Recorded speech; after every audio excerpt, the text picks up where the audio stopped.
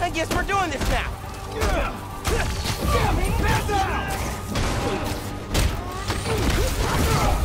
Neutralize Spider-Man!